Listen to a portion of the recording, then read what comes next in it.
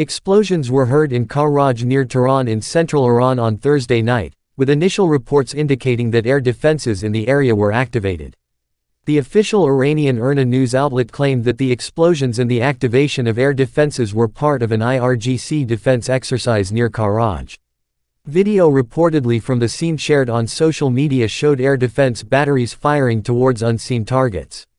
The background of the incident is as of yet unclear. The incident comes just a few weeks after suicide drones targeted an IRGC facility in Isfahan. Iran has blamed Israel for that attack and claimed that no significant damage was caused. Defense facilities in and near Karaj have been targeted by attacks repeatedly in recent years.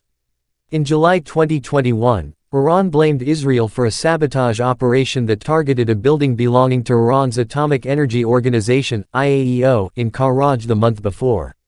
In September 2021, a fire broke out at the Shahid Hemmat Industrial Group missile base in Karaj, near Tehran, killing two workers and injuring one at the facility.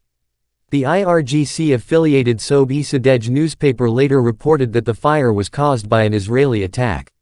In June of this year, an explosion shook western Tehran, with satellite imagery shared by the IntelliTimes website appearing to show damage to the roof of a structure at the Shahid Hemmat base, indicating that the base had been targeted for a second time.